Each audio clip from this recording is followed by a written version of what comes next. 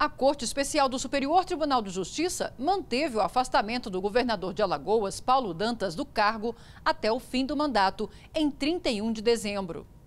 Para a Corte Especial do STJ, o afastamento é necessário como forma de interromper as atividades do grupo criminoso e evitar interferências nas investigações. Paulo Dantas é investigado por suposta participação em organização criminosa que desviava o salário de 93 servidores fantasmas da Assembleia Legislativa de Alagoas. Na investigação, são apurados os crimes de peculato e lavagem de dinheiro.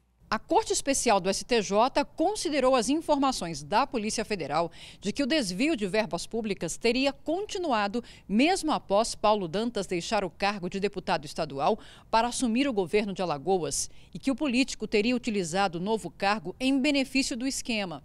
O entendimento firmado pela maioria dos ministros confirma a decisão monocrática da relatora Laurita Vaz e referenda as medidas cautelares fixadas, que incluem o sequestro de bens e valores de vários investigados, no limite de 54 milhões de reais.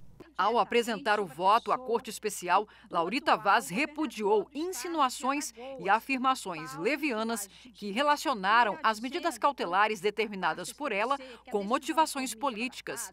Segundo a magistrada, o advento do período eleitoral não é razão suficiente para adiar decisão urgente e de evidente interesse público.